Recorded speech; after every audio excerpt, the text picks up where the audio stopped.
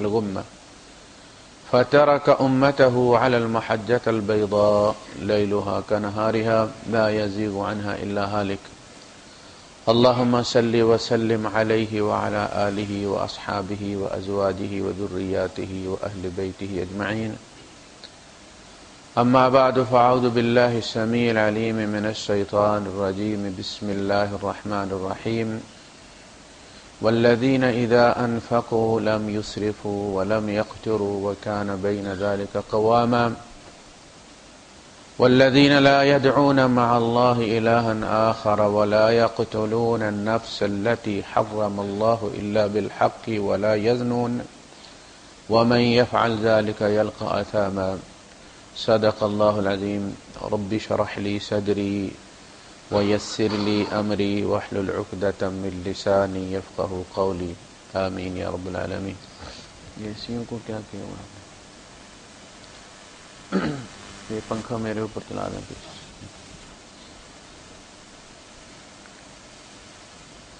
सूरह अल फुरकान का आखिर है अल्लाह पाक इसमें जो सिफात मोमिन की बयान कर रहे हैं अपने बंदों की, इसके दो पहलू हैं।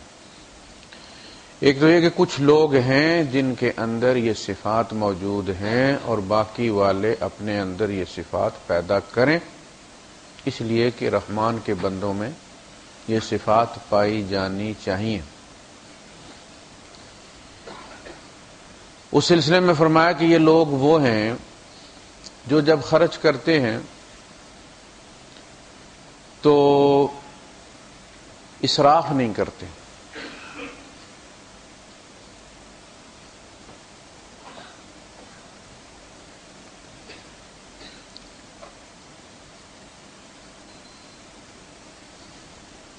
और ना हाथ तंग करते। हैं इसराफ का ज़िक्र किया गया था कि ये ज़रूरत की चीज़ ज़रूरत से ज़्यादा ले लेना। और तबजीर ऐसी चीज़ ले लेना जिसकी कतन ज़रूरत ही नहीं। जिन पे आजकल हमारा ज़्यादा पैसा खर्च होता है असल। जरूरतें इंसान की ज़रूरत हैं, लेकिन ज़रूरत को फिर शान बना लेना कि इस शान से ज़रूरत पूरी हो कि दूसरों पर मेरी धाक बैठ जाए। यह है असल में इसराफ। तो गोया पैसे को तकबर के तौर पर इस्तेमाल करना। इसको अल्लाह पाक ने सूरह बनी इसराइल में बड़ी प्यारी इसके लिए इस्तेमाल फरमाई है कि इन्नल मुबजरीन कानू इखवान शयातीन। ये जो मुबजरीन है, ये असलन शैतान के भाई बंद हैं। वही काम करते हैं जो शैतान करता है। यानी एक बंदा है, उसका एक ड्राइवर है और वो ड्राइवर, उसकी बच्ची जवान है और ब्याने को पैसे नहीं है। और ये साहब अपनी बिल्ली और बिल्ले की शादी कर रहे हैं। उसमें पूरी दोस्तों को दावत दी हुई है और क्लब में जनाब क्या जी इनके बिल्ली बिल्ले की शादी हो रही है। अब उस ड्राइवर के अंदर कुछ तो अल्लाह के खिलाफ भी जज्बात उभरेंगे ना, कि इन लोगों को देता जा रहा है। और हम जो जरूरतमंद हैं, ये कैसा समी और बसीर और खबीर और अलीम खुदा है? कि जो रात दिन सजदे में पड़े रहते हैं, बच्चियाँ उनकी घर में बूढ़ी हो रही हैं, रात को नींद नहीं आती उन्हें उन्हें तो रोटी नहीं देता। ये अंधे की बांट है। और जो रात दिन शराब पीते हैं, वो कुत्ते और बिल्लियों की शादियाँ करते हैं। उनके कुत्ते और बिल्लियाँ दूध पीते हैं और मरब्बे खाते हैं। कोई खुदा नहीं है भाई। खुदा होता तो ये हशर होता। ये जज्बात जब उभरते हैं, खुदा के खिलाफ भी बगावत, सोसाइटी के खिलाफ भी बगावत। वो फिर कहते हैं कि जी कोई कानून नहीं है, कोई शराफत नहीं है, कोई दयानतदारी कुछ नहीं है। सारे अल्फाज हैं, शराब हैं, फ्रॉड हैं। मौलवी हमें ये अफीम देता रहता है, कुछ नहीं, उठाओ गन और लूटो इन लोगों को, ये आज हो रहा है। ये जो माशरे में हो रहा है ना, वो ये हो रहा है। कि जब ये खुदा के कवानीन का कोई ख्याल नहीं रखते तो खुदा हमी को पूछेगा? लूटो इनसे। इन्होंने शराब में ही बहाना है ना? तो लूटो अपने बच्चों का पेट भरो। ये साइकी, ये लोग, तबजीर वाले लोग तैयार करते। इसलिए अल्लाह पाक ने फरमाया इन मुबजरीन कानो इखवान शयातीन। ये शैतान के भाई हैं। उसी वाला काम करते हैं। लोगों को खुदा के खिलाफ भड़काते हैं अपने अमल से। वकान शैतान रबी कफूरा और शैतान अपने रब का बड़ा ना शुक्रा था। ये ना शुक्री है कि अल्लाह पाक ने अगर दिया है, इसमें तुम्हारा इम्तिहान है। तो तुम इसको गरीबों में दो, जरूरतमंदों में दो। जिस कुएँ के सोर्सेस खुल जाते हैं, मंबे खुल जाते हैं, उसमें से जितना पानी निकलता है, अल्लाह उसमें और देता है। तो तुम उसमें से निकालो गरीबों को दो आकबत बनाओ अपनी बजाय इसके कि तुम उसको अल्ल तल्लों में उड़ाओ और शराब और शबाब में घर करो ने और लोगों को अल्लाह के खिलाफ भड़काओ। तो ये वो लोग हैं जा अनफाकुलम यूसरफ खर्च करने पे आते हैं तो इसराफ नहीं करते वलाम अख्तरू और ना ही तंग, तंगी करते हैं। मैंने एक ये भी होता है कि पड़े तो हो जाए चमड़ी जाए दमड़ी ना जाए। है तो सब कुछ, लेकिन कोशिश करते हैं कि खर्च ना ही करना पड़े। ना अपनों पे, ना गैरों पे। ये याद रखें कि ये दुनिया इम्तिहान है। कुछ लोगों को अल्लाह पाक ने नहीं दिया, और कुछ लोगों को अल्लाह पाक ने दिया है। जिनको दिया, उनका भी इम्तिहान है कि वो इसको अपनी कमाई समझते हैं, अपना माल समझते हैं, या अल्लाह का माल समझते हैं। अल्लाह पाक ने जब कहा कि गुलामों को मुकातबत कर लो तुम उनके साथ मायदा कर लो। लम सम एक अमाउंट मुकर कर दो कि भाई इतने पैसे हैं, तुम दे दो तो आज़ाद हो जाओ।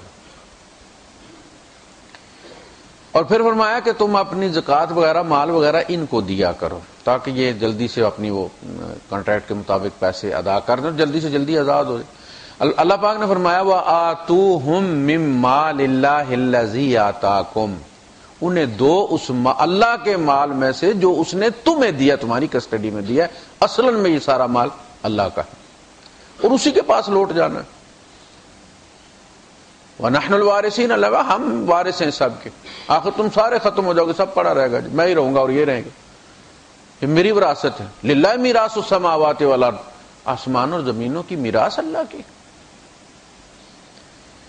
तुम्हें वक्ती तौर पर दिया है कि इससे तुम कमा लो फ़ायदा उठा लो आकबत ठंडी कर लो, फिर हम तुमसे इतने अरसे बाद ये वापस ले लें। अब वो अक्लमंद कौन है कि जो ठंडा करने की बजाय गर्म करना शुरू कर दे उसे? ये।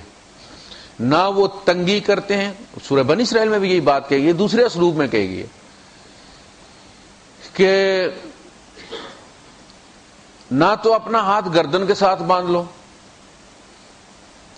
वला तजाल का मगलूलतन इलाउन के गर्दन के साथ बाँध देने का मतलब है कि ये जेब से दूर से दूर हो जाए। ये मकसद है। लटकता हो तो जेब के पास होता है ना। गर्दन के साथ बाँध देने का मतलब यह है कि ना खुलेगा, ना खर्च होगा। और ना इसको कुल्लल बस्त वला तबसुथा कुल्लल बस्त और ना इसे बिल्कुल ही खोल दो। फतकुदा मलूम महसूरा फिर जब तुम्हें ज़रूरत पड़े तो तुम हसरत जदा और मलामत जदा होकर बैठ जाओ हसरत तो यह कि मेरे पास कोई नहीं और मलामत यह कि जो था मैंने नेकी के मारे हुए सबको तकसीम कर दिया मुझे ज़रूरत है कोई नेक आगे नहीं आ रहा कहा कि नहीं ऐसा नहीं तुम पहले अपनी जरूरतों का ख्याल रखो अगर तुम नहीं रखोगे तो फिर दूसरे तुम्हारा कैसे ख्याल रखेंगे अपनी औलाद का सोचो अपना सोचो और उसके बाद इन्फाक करो उसमें से शरीयत कहती है, वह काना बेन जाल का कवाम है, इसके दरमियान दरमियान में वो रहते ना इसराफ और ना तंगी। वल्लजीन लादून ये वो लोग हैं जो अल्लाह के साथ किसी और इलाह को कभी नहीं पुकारते। वलायकतलून नफ्स अल्लती हर्रम अल्लाह बिलहक। और ना ही किसी ऐसी जान को ये कत्ल करते हैं जिसको अल्लाह ने मोहतरम ठहराया है। जान चाहे गुनागार की है, चाहे नेक की है, वो अपनी असल में एक ही वैल्यू रखती है। किसी रेडी वाले की जान और मुल्क के चीफ जस्टिस या मुल्क के सदर की जान एक कीमत रखती है अल्लाह के नज़दीक जानों में कोई फ़र्क नहीं। रेडी वाले को मारा तो गुना कम होगा और सदर को मारा तो ज़्यादा होगा, नहीं। एक ही जैसा। हर जान इतनी मोहतरम है।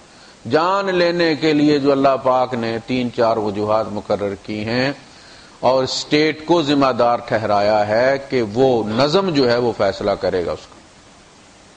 हर बंदे को, किसी को गुनागार समझकर मारने का इवन के अगर ने किसी को अपनी आँखों से बदकारी करते देखा है, वो उसको संसार नहीं कर सकता, ना कत्ल कर सकता। अगर करेगा, मुजरम। तो ऐसी जान जिसको अल्लाह ने मोहतरम ठहराया है। इस जुर्म में मार देना कि इसने फलां को वोट दिया और फलां ने फिर फलां आगे किया लाता ये भी मुजरम है उतना ही। ये हर बंदा अपनी अदालत खुद बन के फैसले करना शुरू कर दे लोगों के। ये है अनारकी जिसे कहते वो इंसानी जान का एहतराम करते वलायजनून और बदकारी नहीं करते। मैं यफ़ाल का यल का असामा, जो ये करेगा वो फिर बहुत बड़े गुनाह में मुलवस हो जाएगा। ये बड़े गुनाह कबीर जो कबीरा गुनाह गिनवाए गए साथ ये उनमें शामिल। शिरक, वालदेन की नाफरमानी कत्ल नफ्स, जादू और बदकारी, ये बड़े गुनाहों में से। युदाफलाजाब यौमल क़ियामा। वखलुद फ़ी ही मुहाना। उसके लिए क्यामत के दिन अजाब ज़्यादा कर दिया जाएगा। इसलिए कि जो फेल उसने किया है, यानी अगर उसने इसराफ किया है और तबजीर की है और उससे लोगों के जज्बात को भड़काया और उसकी वजह से कुछ लोग मुजरम बन गए तो उसकी ज़िम्मेदारी उस पर आएगी। इसी तरह अगर उसने शिरक न सिर्फ़ किया, बल्कि शिरक की दावत भी दी है तो वो लोग जब तक जीते रहेंगे और शिरक करते रहेंगे और मजीद आगे लोगों को मुशरक बनाते रहेंगे, वो अजर इसको मिलता रहेगा वहाँ। इसका शेयर जो है, वो मिलता रहेगा। और क्यामत के दिन वो सारा इकट्ठा कर लिया जाएगा। कहा जाएगा, भाई देखो, इसने कितनों को पहुँचाया था और वो सारा इसके खाते में, उनका कम किए बगैर इसके खाते में डाल दिया जाएगा। वो काफर जो थे ना, वो कहते थे, जो देखते थे ना, बंदा मुतजलजल मुसलमान होने वाला है। तो उसे कहा करते थे, यार देखो, आखिरत से डर गए हो ना। हम तुम्हारा बोझ उठा लेंगे, पक्का वादा। तो अल्लाह पाक ने फरमाया कि ऐसा नहीं। ये जो काफिर हैं, ये मोमिनों को ये कहते हैं कि तुम मुसलमान मत हो। नहमिल खताया कुम हम तुम्हारी खताएँ उठा लेंगे। हामिल, नहमिल। हामिल यहाँ कहते हैं कुल्ली को, बोझ उठाने वाले को।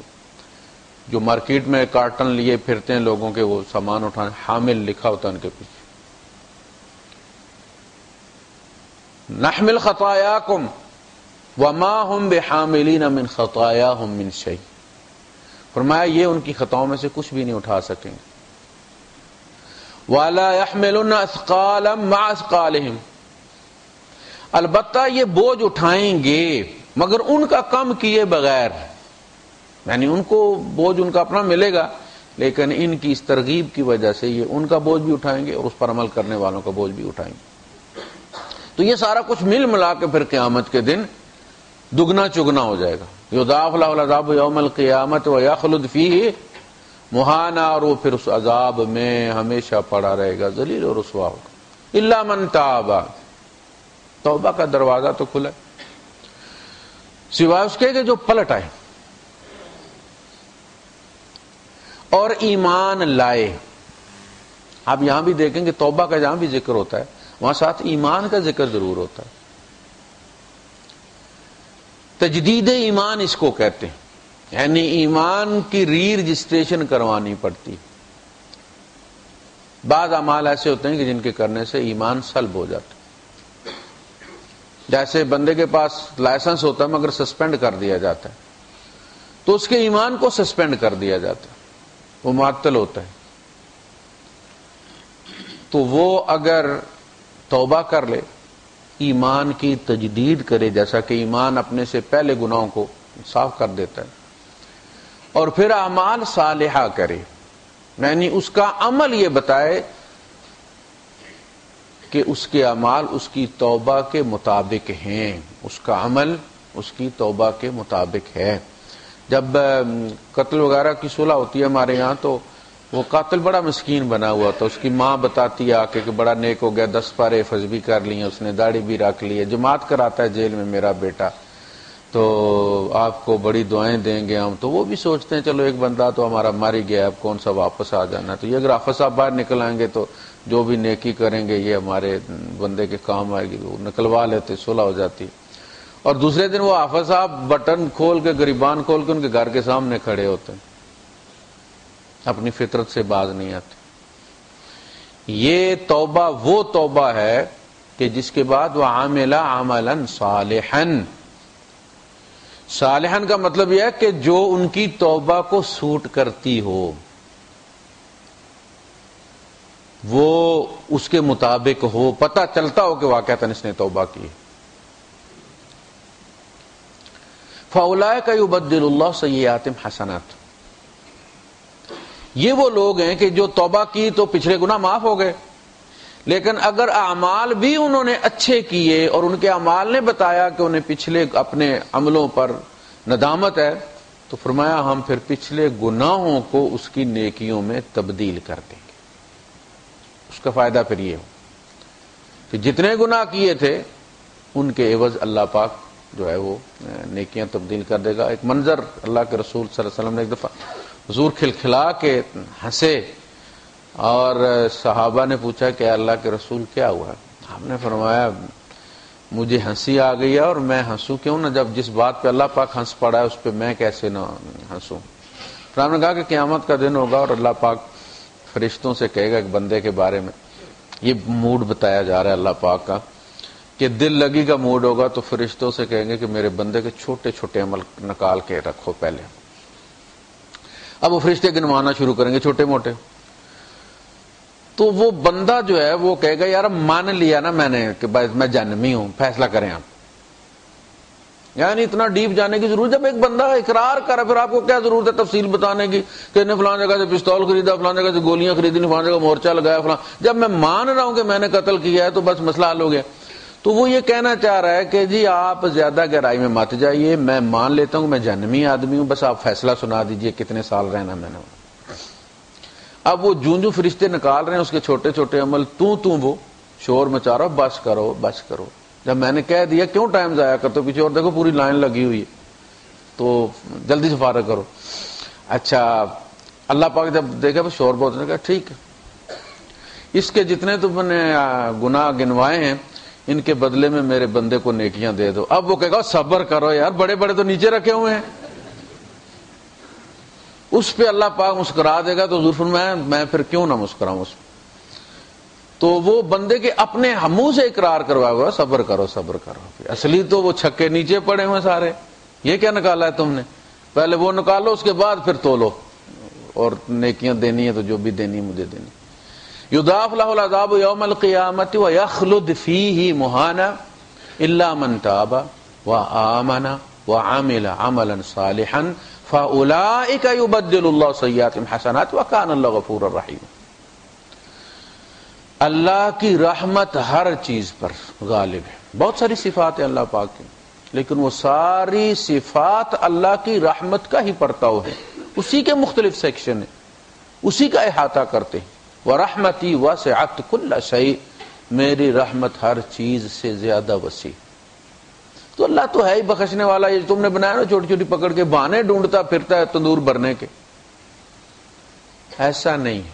वो तो बहाने ढूंढता है माफ़ करने के। उसने नहीं कहा कि भाई इतने सालों बाद आओगे उसके बाद तौबा कबूल नहीं करूँगा। जब आ जाओ, जान निकलने से पहले आ जाओ। जितने भी गुना लेकर आ जाओ, मेरी रहमत उनसे ज़्यादा वसी है। समंदरों की झाग के बराबर लेकर आओगे तो मुझे उससे ज़्यादा रहमत लिए मुंतजर पाओगे। तुम्हारे गुना कभी भी मेरी रहमत पर गालिब नहीं आ सकते। यानी उनकी वजह से वापस आने से मत डरो कि अब तो मैंने ये भी कर दिया, ये भी कर दिया, वापस कह नहीं। वो फारसी की एक है, वो कहते हैं, बाज आ बाज आ, हर आँच हस्ती बाज आ। गर काफिरो, गिबरो, बुत परस्ती बाज आ। ई दरगाह मा दरगाह ना उम्मीदी निस्त सद बार अगर तोबा शिकस्ती बाज आ। तोबा करके टूट गई है तो वापस आ। तोबा का कुफारा क्या है? फिर तोबा। अगर गुनाह करने से नहीं शर्माते तो तौबा से मत शर्माओ। गुनाह से नहीं रुकते तो तौबा से मत रुको। गुनाह से नहीं थकते तो तौबा से मत थको। अमाल तुलने के बाद फिर तौबा के फैसले होंगे। क्या अब इसकी वो फाइलें निकालो जो उसने तौबा की हैं? अल्लाह पाक जो है वो कबूल करके तो मिटा दे। तौबा करने में कोई ऐब नहीं है। किसी को तौबा पर शर्म नहीं दिलानी चाहिए। ये कैसी तौबा? उसकी तौबा और उसके गुनाह के दरमियान अगर एक दिन भी गुजर गया तो वो दिन भी बड़ा कीमती। वह मनताब व आमिल आमिल आमलन सालहन फ़िन मताबा। असल में पलटना तो उसी का पलटना है कि जो तौबा के बाद फिर आमाल सालहा करे। वल्लाजीन ला यशहदून जूर और ये वो लोग हैं कि जो झूठ का मुशाहदा नहीं करते। यशहदून, दोनों चीज़ें इसमें शामिल हैं। झूठ की गवाही नहीं देते, झूठे गवाह नहीं बनते। दूसरा, एक झूठ का मुशाहदा नहीं करते। कोई बुराई हो रही है, वहाँ खड़े होकर तमाशा नहीं देखते। जब आप किसी चीज़ से नफरत करते हैं तो फिर खड़े होकर उसका मुशाह करने का मतलब क्या हुआ? कि आपके अंदर भी हसरत है। बस आप डरे हुए ज़्यादा डर गए। ये बात। वरना नफरत होती तो आप वहाँ खड़े क्यों होते? आपका वहाँ खड़ा होना यह बताता है, जैसे बच्चे होते हैं ना, गरीब के बच्चे होते हैं, अमीर के बच्चे होते हैं तो अमीर के बच्चे खा रहे होते हैं और गरीब के बच्चे चुरक रहे होते हैं। फरमाया, ये मुशाहदा असल में जुरकना है, तरसना है, रालें टपकाना है गुनाह के लिए। एक तरफ़ डरी हुई तबीयत है, इतनी हिम्मत नहीं पड़ती। दूसरी तरफ़ वहाँ खड़े होकर रालें टपका रहे ढूंढ क्या रहे हो वहाँ पे तो निकलो वहाँ से। वो झूठ का, बुराई का, गुनाह का मुशाहदा नहीं करते, देखना तक पसंद नहीं करते उसको। वैसा मर्रू बिल्लगवे मर्रू किरामा जब वो बुराई के पास से गुजरते हैं तो इज़्ज़त बचाकर गुजर जाते हैं। ये है अमली पहलू, यानी अगर इंसान के अंदर फिल वाके गुनाह से नफरत है तो अल्लाह पाक कहता फिर उसका अमल ये होगा। अमल ये बताता है कि इसके अंदर नफरत है फलां वल्लाजीन एजाजुक्र बे आयात रब लम यखिर अलैहा उमियान। ये वो लोग हैं कि जिनके सामने जब उनके रब की कोई आयत आ जाती है, सुनाई जाती है, दिखाई जाती है रब की कोई निशानी तो वो अंधे और बहरे की तरह रिस्पॉन्ड नहीं करते। लोग ये कहते हैं कि जी, लम या खिर्रू अलैया सुम्मा उमियाना का मतलब है कि अंधे बहरों की तरह उस पर टूट नहीं पड़ते, ना ना। अल्लाह की आयत सुनाई जाए तो वो अल्लाह की आयत है, उसको तो लपक के लेना चाहिए, उसमें अंधे पैर वालों क्या बात है? अब वो तहकीक करेगा कि जब्राइल के दस्तखात हैं कि नहीं है? ये तर्जुमा ही गलत है। लम या खिर्र अलैया सुम्मा का मतलब यह है कि वो अंधे बहरे की तरह रिस्पॉन्ड नहीं करते। कि एक अंधे आप उसे कोई दिखाएँगे, चीज़ तो वो क्या रिस्पॉन्ड करेगा? क्या जवाब देगा उसको? उसने चीज़ देखी नहीं। और सुनाएँगे, वो बह है, उसने सुना ही नहीं है। तो आप ये कहेंगे, अब वो तालियाँ बजाएगा। कि आप बहुत खूबसूरत आवाज़ में गा रहे हैं। उसने सुना ही नहीं, वो बह है। तो कुछ लोग ऐसे हैं, लाहुम आजान लायसमाउन बेहा। उनके कान हैं, सुनते नहीं वलाहुमायुन लायुब से रोना बेहा। आँखें हैं, मगर बसीरत से खाली हैं। वो देखती नहीं है। वो पानी को देखती है, उन्हें पानी इसी तरह नज़र आता है कि ये पीने की चीज़ है। जिस तरह गाय, भैंस को नज़र आता है, वो बड़े दूर से आती है पीने के लिए। वो लाए का कला नाम, ये भी गाय, भैंसे हैं। सिर्फ़ वो चार टांगों पर चलते हैं, दो टांगों पर चलने वाली गाय, भैंसे हैं। उलाय का कल नाम, ये मवैशी है। क्यों? इसलिए कि उस गाय को भी नहीं पता ये पानी कैसे आया है, और इसको भी नहीं पता किसने बरसाया है। जो मोमिन होता है, वो तो सोचता है, एक लम्हे के लिए रुक के सोचता है। ये पानी किस चीज़ से बना है? कैसे बना है? किसने बरसाया? जिन्हें नहीं पता था कि एच टू है। उन्हें यह तो पता था ना कि आसमान से बरसता और बड़ी बेबसी की तस्वीर होती हमारे बस की बात नहीं होती, अल्लाह का करम है, दे दे दे दे।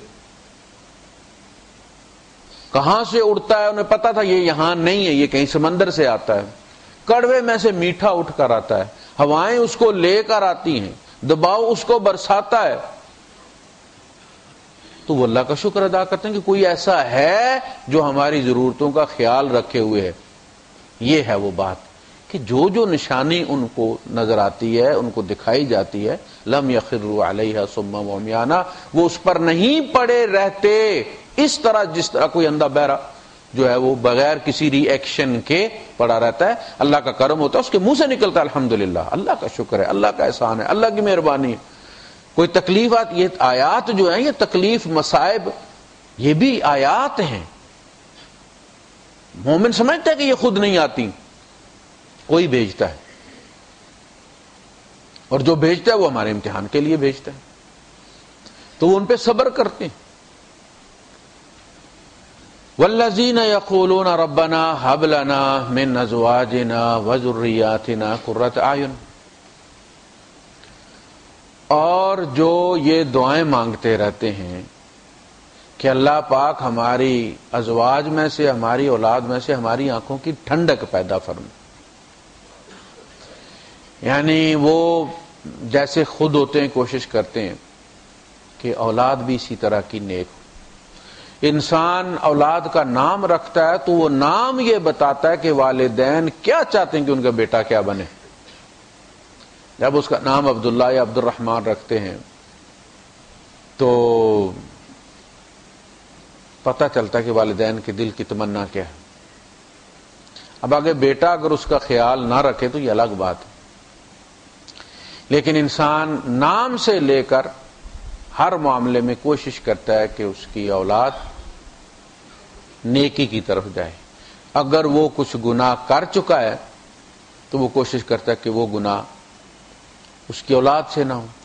एक आदमी जब खुद किसी गड़े में उसका पाँव पड़ जाता है और लड़खड़ा जाता है और गिर पड़ता है तो वो फिर या तो उस गड़े को ढकने की कोशिश करता है, या फिर वहाँ खड़ा हो जाता है ताकि बाद में आने वालों को बताएगा, भाई साहब, सबर करो आगे, गड़ा यार, मैं गिरा हुआ गया अब बंदा कह, जी तुम गिरे हो तो ना गिरिए।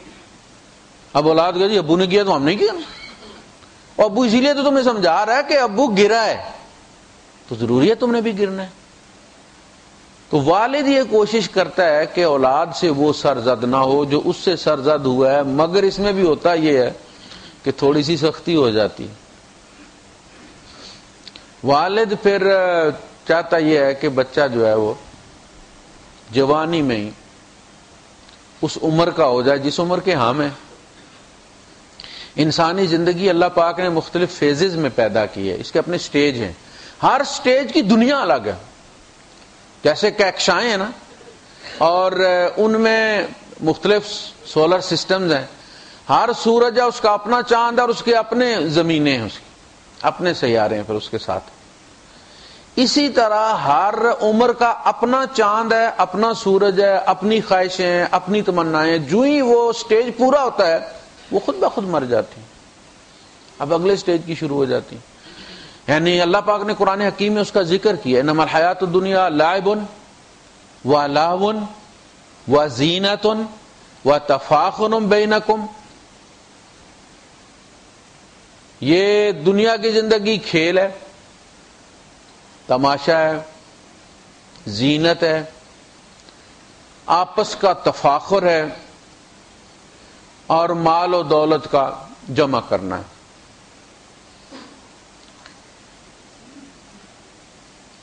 पहला लाइब होता है, फिर जब ये खेल, छोटा बच्चा है, उस पर कोई चीज़ वाजिब फ़र्ज़ नहीं है।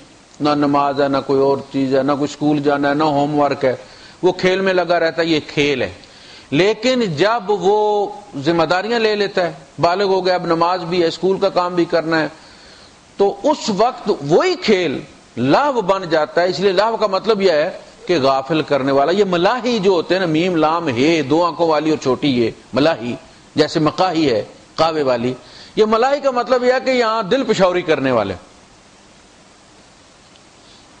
तो खेल जो है, जब इंसान को जिम्मेदारियों से गाफिल करता है तो वो लाभ बन जाता है। एक खास स्टेज तक वो लाइब रहता है।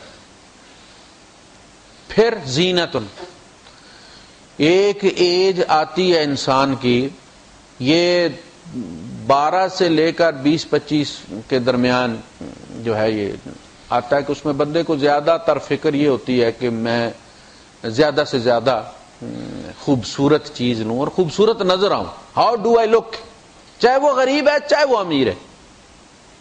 ये सब पे वक्त आता है। कीमती से कीमती चीज़ लेना चाहते हैं। अब अब्बा चूँकि उस दौर से गुजर चुका है, अब्बा आखिर स्टेज पे पहुँचा हुआ है। वह तकासुर फ़िल्म वाले वाला औलाद। अब्बा जोड़ने वाले फ़ेज़ पे पहुँच गया है। बेटा, खर्च करने वाले फ़ेज़ पे खड़ा है। हाउ डू आई लुक कीमती जूती, कीमती गड़ी मैंने ये नहीं लेनी। और तू नवाब का पुत्र है भाई। तूने नहीं लेनी, तू बाप की तनख्वाह नहीं देखता, वो तनख्वाह नहीं देखता, शौक दा मुल्क कोई नहीं। अब दोनों इसको कहते हैं जनरेशन गैप दोनों ये अंदाज़ा नहीं कर, बाप अगर ये देखे, इसलिए कि बेटा तो अभी बूढ़ा नहीं हुआ ना, वो तो अभी पचास को नहीं पहुँचा। बाप तो बीस, पच्चीस, बारह, चौदह, अठारह का रह के आया ना, उसे तो पता है कि ये उम्र क्या कहती है। उसे तो तजर्बा है। यहाँ फिर मामला बिगड़ना शुरू होते जीनतन, अल्लाह पाक ने इसको गिनवाया कि यह दौरी जीनत का जीन वह तफाखरम बेनकुम, फिर थोड़ा सा मिच्योर होता है तो फिर वो मेरा घर दूसरों के घर से अच्छा होना चाहिए, मेरी गाड़ी दूसरों की गाड़ी से। तफाखुर के लिए फिर, अब ज़रूरत के लिए नहीं। अब तफाखुर है, अपनी जाती सोच से आगे बढ़कर चीज़ चली गई। जीनत होता है, बस अपनी फ़िक्र है कि मुझे खूबसूरत नज़र आना चाहिए। लेकिन वहाँ यह कि नहीं जी, वो तो मेरा घर उससे कीमती होना चाहिए। मेरा विला उसे बिल बड़ा होना चाहिए। ये तफाखरम बेनकुम। आमतौर पर वालदेन जब उस पर होते हैं, इस स्टेज पे, तफाखरम बेनकुम। बेटा जो है वो दूसरे पे होता है। अब वो बाबा कहता है कि यार वो पैसे भेजो। क्यों? वो साथ वालों की ज़मीन बिक रही है। तो यार गोली मारे आप ज़मीन को, आजकल जमीनों को लोग क्या करते हैं? मेरे बच्चे पढ़ रहे हैं, मुझे फीसों की ज़रूरत है, यहाँ वो कहता हूँ छोड़ो, यहाँ फीसों में क्या करना तुमने? वो साथ ज़मीन बनने के साथ बनना लगता है, फलां खरीद रहा है। तो ये तो हमारे नाक का मसला है। तो अब फिर दोनों में क्लैश शुरू होता है। इसको बच्चों की फ़िक्र है, अब्बे को बन्नों की फ़िक्र है, कि बनने के साथ बनना लगता है, ज़मीन खरीदनी है। बच्चा लंदन गया। अभी अगला कर्जा उतरा नहीं तो बाप ने पीछे से डिमांड शुरू कर दी, भेजो, फलां तो खरीदनी है, फलां खरीदनी है। कहता, अब्बा, इतनी खरीद ले। कहता, पुत्र, बनने नाल बनना लगता उन्हें क्या अब्बा तो क्यामत तक चलता रहेगा, बनने नाल बनना। अब वालदेन नाराज़ हो जाते हैं। बंदा सोचता है, यार, मैंने माँ बाप नाराज़ कर दी, ये नाराज़गी नहीं है। ये डिमांड गलत है। उनकी डिमांड गलत है। इसमें नाराज़गी वाली कोई बात नहीं इसी तरह नेकी और गुनाह का मामला है। औलाद अभी आखरत को इजी ले रही है। इसलिए कि जवान बंदे को भी बड़ी उम्मीदें होती हैं। अभी तो शादी नहीं हुई तो मरना कैसा? अभी तो मेरी दाढ़ी नहीं निकली तो सफ़ेद होनी और फिर बड़ी स्टेज पड़े हुए मरने के लिए। उसके बाद जाके कहीं घुटनों का दर्द होगा, वो भी पैसे हुए तो ऑपरेशन करवा लेंगे। उसने काफ़ी अभी मार्जिन रखा हुआ है मरने में। तो बाप उसे मौत से डराता है, इसलिए कि बाप खुद कब्र के किनारे खड़ा है। और डरा उसको रहा है वो। और तो उससे रखता कि बेटा डरेगा, ऐसा नहीं। अपनी एज का ख्याल करें, बच्चे की एज का ख्याल रखें, नेकी की तरगीब दें, जो करता है, उस पर उसकी तारीफ़ करें और उसे साथ लेकर चलने की कोशिश करें। सख्ती करेंगे, मर्द मर्द के सामने जब आ जाता तो फिर क्या होगा? घर से निकाल देंगे आप उसे? इससे ज़्यादा आप क्या कर सकते? गोली तो नहीं मार सकते। घर से निकाल देंगे तो वो ठीक हो जाएगा। पहले सिर्फ़ कोई अमल में कमी होगी अब बाहर जाके चार चीज़ें और भी सीखेगा दूसरों से। अब ठीक हो गया। तो इनको लेकर चलना औलाद को भी एक फन है। बड़ी बर्दाश्त माँगता है, बड़ा सब्र माँगता है। तो आँखों की ठंडक यह है कि औलाद नेक काम जब करती है तो वालदेन को खुशी होती है। औलाद पर नज़र पड़े तो बंदे की आँखें ठंडी हो जाए। औलाद के सदमे से अमूमन आँखें चली जाती। ये भी कुरान हकीम का एजाज है। याकूब अलैहिस्सलाम की देखे ना आप, वह बेअदत आईना हो मिनल हुजन गम से उनकी आँखें सफ़ेद हो गई थी। ये झटका जब लगता है औलाद वाला तो उसका पहला असर इंसान की आँख पर पड़ता है। और खुशी जब मिलती है तो भी आँखों को ही ठंडक मिलती अमल तो क्यामत के दिन अजर देखेंगे तो देखेंगे, लेकिन नेक औलाद को देख कर भी इंसान आँखों की ठंडक मिन अजवाजना वजुर्रियातना कुर्रत आयुन वह जालना मुतकीन इमाम। और अल्लाह पाक हमें मुतकीन का इमाम बना। यानी मुतकीन का इमाम बना से ये मुराद कि पहली बात है कि हम खुद भी नेक हूँ। दूसरा ये कि हम नेक तरबियत करके जाएँ, नेक औलाद छोड़ कर जाएँ। ऐसा ना तो पीछे मुड़ के देखें क्यामत के दिन तो। बैंक लूटने वाले और किराए के कातल खड़े हों पीछे, भाई ये आपके बेटे हैं। ये ना हो। हमें मुत्तकीन का इमाम, यानी मुत्तकीन के आगे खड़ा कर मुड़कर हम देखें तो वहाँ नेक लोग हमारे, हमारी औलाद में, हमारी नस्ल में। ये वो लोग हैं कि जिन्हें अल्लाह पाक जन्नत अता फरमाएगा। और हमेशा उसमें वो रहेंगे। हसनत मुस्तकर्रन व मुकाम। वहाँ कहा था ना जहन्नम के लिए कि ये तो थोड़ी देर जाने के लिए भी बुरी चीज़ और हमेशा रहने के लिए तो बुरी है ही है। यहाँ फरमाया कि हसनत मुस्तकर्रन व मुकामा यहाँ तो थोड़ी देर के लिए स्टे कर, करना भी एक नेमत है जन्नत में। और हमेशा रहना तो बहरहाल है ही। कुल मायाबिकुम रब्बी लौला दुआकुम अल्लाह पाक को तुम्हारी कोई परवाह नहीं है। यानी कोई ज़रूरत नहीं कोई हाजत नहीं आपने कभी गौर फरमाया कि फरिश्तों जैसी पाक मखलूक, जिसका काम ही सिवाय अल्लाह पाक की तस्बी के कुछ नहीं है। ना वो खाते हैं, ना वो पीते हैं। अल्लाह का ज़िक्र उनकी चार्जिंग है ना वो गंदगी करते हैं।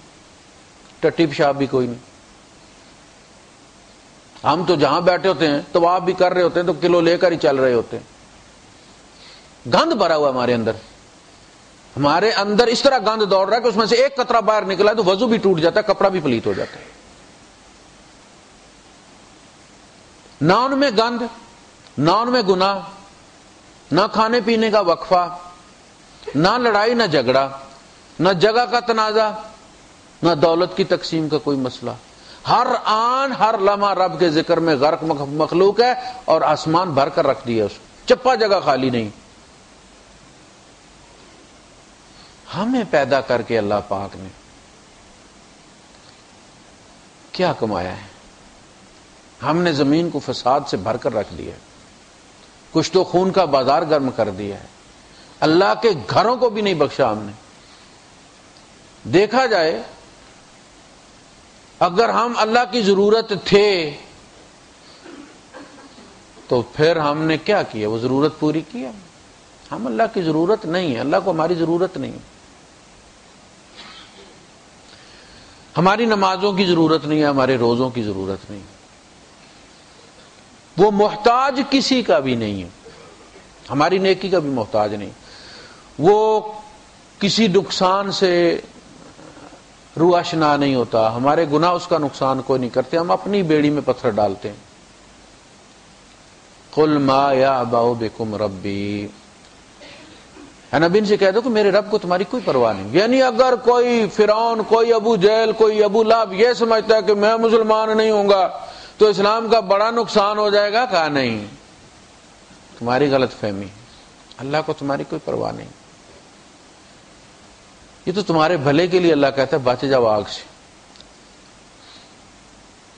जालकल्लजी युखविफुल्ला इबादा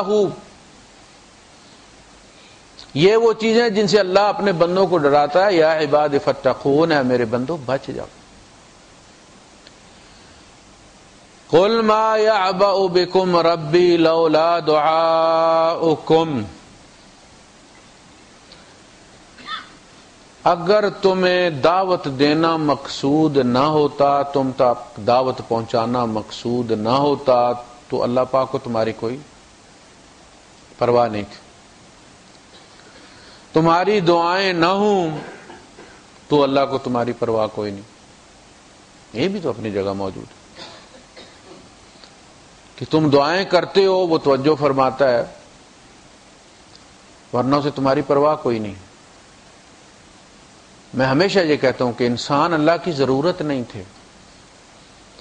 और हमने पैदा होकर ज़मीन को फिल वाक्य फसाद से भर दिए कुत्ता कुत्ते से लड़ता है, कुत्ते को मारता नहीं है। और हम बखशते नहीं है। हम रमज़ान में बंदे मारते। रोज का कोटा पूरा करते थे। जिस तरह हम कर रहे हैं, कोई हैवान भी नहीं करता। लेकिन मकसूद ये था कि एक ऐसी साहिब अकल मखलूक बनाई जाए जिसके पास इख्तियार हो। अब देखिए, ये अना का मामला है और प्यार का मामला है। ऐसी मखलूक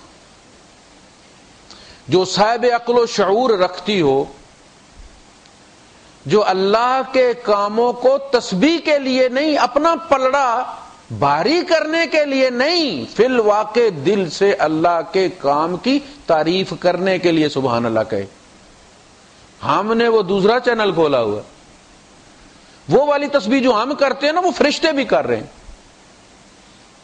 बिला सोचे समझे वाली। फरिश्तों को नहीं पता कि ये पानी एच टू ओ से बना है। ये दो खतरनाक गैसें, एक जलने वाली, दूसरी जलने में मदद देने वाली। इनको मिला के आग बुझाने वाली चीज़ बना दी है रब ने यह आपको पता चला। अब जब ये अंदर जाता है तो प्यास भी आपको लगती है और पानी की मिठास भी आपको महसूस होती है। फरिश्तों को वो पीते ही नहीं है, उन्हें क्या पता? कि जब प्यास लगी हो और 16-18 घंटे का गर्मियों का रोजा हो और जब बंदा सामने रख के बैठा, रूह अफजा अंदर जाती है तो क्या सुरूर आता है बंदे को? ये फरिश्ते को क्या पता? और उस वक्त जब धमकी याद आए, अल्लाह पाक की अगर ये मैं पानी उठा ले जाऊँ, उड़ा ले जाऊँ तो अब आपको पता चला, मरीख पर भी दरिया बहते थे। समंदर भी था। बाग से उड़ गया कि नहीं उड़ गया? तो क्या हुआ मरीख वालों ने अल्लाह पर 302 का पर्चा करा दिए? ज़मीन से ले जाए तो तुम क्या कर लोगे? पता चला ना कि धमकी में ज़ोर है। एक बंदा कह मैं तुम्हें मार दूँगा मार दूँगा, आप उसको इजी लेते, जब वो बंदे दो चार मार दे तो उस दिन आपको परसे आ जाता है। यार, शुक्र है, मैं बच गया हूँ। ये तो वाकई बंदे मारने वाला बंदा था। अब मरीज़ की स्टोरी पहुँची है तो आपके रोंगटे खड़े हुए क्या नहीं हुए? वो चाहे तो आज उड़ा कर ले जाए। बस उसने कंबल ही हटाना है ना। भक से उड़ जाएगा सब कुछ।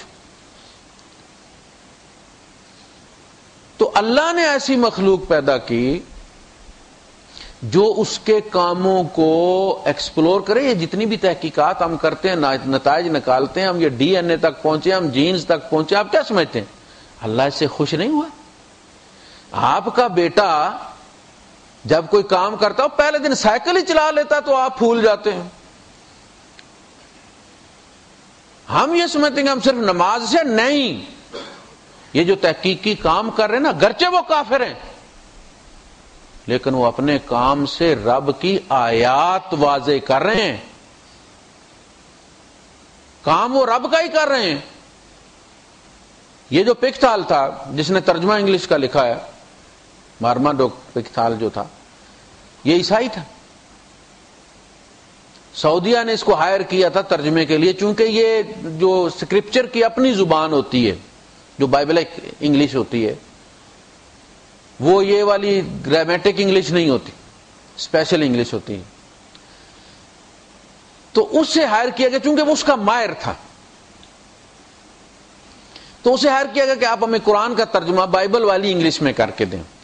आसमानी किताबों वाली, मुकद्दस स्क्रिप्चर वाली लैंग्वेज में उसका हमें तर्जमा करके दें। उसने शुरू किया। वो दसवें ग्यारहवें पारे तक वो मुसलमान हो गया। लेकिन था वो ईसाई, लेकिन काम तो कुरान का ही तर्जमा कर रहा था।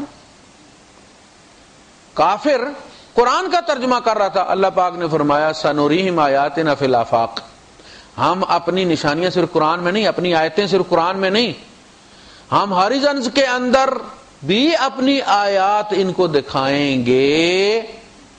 हत्या या तबैन अन्नाहुल हक। यहाँ तक कि उन पर वाजे हो जाएगा कि अल्लाह है।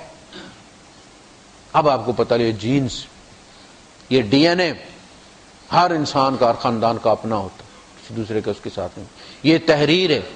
तीन अरब किलोमीटर एक इंसान के अंदर अब तक हमने तहरीर दरियाफ्त किए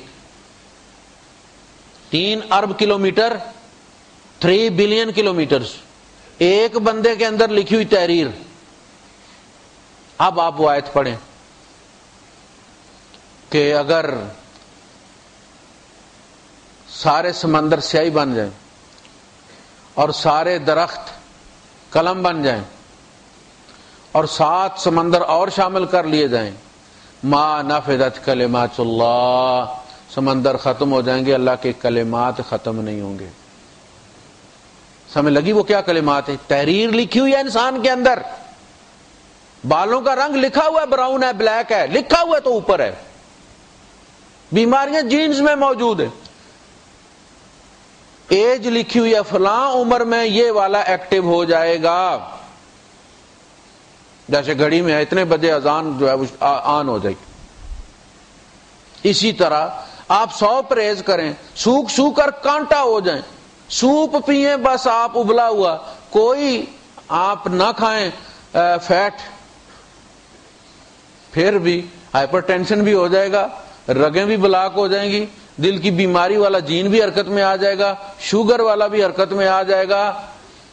खाएँ, चलें, मेहनत करें, मुशक्कत करें, उसे बदन का हिस्सा बनाएँ, अपने वक्त पे बीमारी भी आ जाएगी। मैं ऐसे साहब को जानता हूँ जिन्हें हर चीज़ उबली भी खाते थे। पानी डाला और गोभी डाली और चावल डाले और खा लिए, बस नमक डाल दिया उसमें थोड़ा सा। जब भी हम उनके यहाँ गए, खाना नहीं खा पाए। हमसे खाया नहीं जाता था, उनसे पकाया नहीं जाता था। जिस दिन पता चला कि उन्हें हार्ट का प्रॉब्लम है, अस्पताल में तो मैं तो हैरान, परेशान हो गया। मैंने एहतियात ही छोड़ दी फिर, जो मैं करता था। मैंने कहा, अगर उनको हो गया तो फिर हमारी तो हिस्ट्री है, दादा को भी, वालद को भी, ताया को भी, फूफियों को भी, हमारी एक हिस्ट्री है इसकी। तो मैंने कहा कि कोई फ़ायदा नहीं है। इसमें वक्त जाया करने का। तो भाई, वो जो दवाइयाँ ईजाद कर रहे हैं, जो तहकीकात कर रहे हैं, जो बता रहे हैं कि हर चीज़ की अपनी हिस्ट्री है, अपना डीएनए है उसका। उसके अंदर अपनी तहरीर लिखी हुई है। वो अल्लाह का ही काम कर रहे हैं। हमारे ईमान की मजबूती का काम कर रहे हैं। इंजेक्शन आपको अगर डॉक्टर गैर मुस्लिम डॉक्टर लिख कर दे, इंजेक्शन लगाने वाला भी ऑल्फन का, गैर मुस्लिम डिस्पेंसर हो या नर्स हो, मेल नर्स तो दर्द का आराम आ जाता है ना? वो नहीं कहता कि नहीं नहीं, ये तो ईसाई ने लगाया मैं बिल्कुल ही आराम नहीं देता इसी तरह तहकीक का मामला है। तुम मेहनत करोगे तो वो चीज़ इनकार नहीं करती कि नहीं, मैं अपने राज तुम्हारे सामने नहीं खोलता, पहले तुम इतनी दफ़ा तल कुर्सी पढ़ो। वो आदम अलैहिस्सलाम की, ये काफर भी आदम अलैहिस्सलाम की पुश्त में ही थे जब सजदा किया था फरिश्तों ने। इनको भी किया था। वो इल्मुल असमा का ही मुकाबला था, वो मेडिसिन का ही मुकाबला था, वो तहकीकात का ही मुकाबला था। इल्मुल हुदा तो अभी बाद में था, शैतान के साथ जब हमारा अगला सेमीफाइनल होना था। वो अलग मामला है। इसलिए अल्लाह पाक ये चाहता था कि ऐसी मखलूक बनाए जो चीज़ों की तह तक पहुँचे और अंदाज़ा करे कि उनका रब कितना अजीम इंजीनियर है, कितना बड़ा एक्सपर्ट है। क्या क्या उसने बना दिया और किस तरतीब के साथ बनाया उसने? फिर कहे सुबहान अल्लाह सुबहान वो एक सुबहान अल्लाह किसी की साठ साल की सुबह अल्लाह से ज़्यादा वज़न रखती। क्योंकि वो सोच समझ कर कहेगी। वो फरिश्तों की तरह नहीं। हमारा अक्सर उस नेकी पर ज़ोर होता है जो अंधा धुंध की जाती है। उसमें क्वांटिटी बढ़ जाती है, वज़न कम होता है। क्यामत के दिन गिने नहीं जाएँगे, तोले जाएँगे।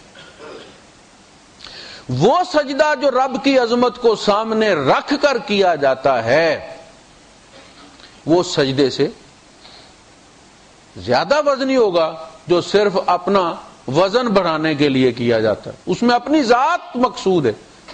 सेल्फ ओरिएंटेड है बंदा। वो सिर्फ़ अपनी जात का सोच रहा है। लेकिन जो अल्लाह की अजमत की वजह से कर रहा है, वो अपनी जात को गुम कर रहा है। सजदा दोनों का अल्लाह को ही सजदा है। ये अपनी फ़िक्र कर रहा है, मेरा पलड़ा बारी हो जाए। और दूसरा, जब रब की अजमत को पहुँच गया तो अपने आप को वो भूल ही गया। वो रब की अजमत में खो गया सजदे तलावत जब हम करते हैं तो उसकी जो तस्वीर है, वो आपको पता है सुबह रबी अल्लाह से भी काम चल जाता है। लेकिन उसकी एक खास तस्वीर है। साजादा वजही अल्लाजी व सवरा व शक् समअहू व बसरहू बेहौलही व कुव्वत मेरे सर ने मेरे चेहरे ने सजदा कर दिया उस हस्ती को, जिसने इसको तखलीक की है और फिर इसकी तस्वीर कशी की है। ये चमड़ी ऊपर से उतार दें, आप नीचे से बंदा नहीं पहचान सकते आप कि ये वो है।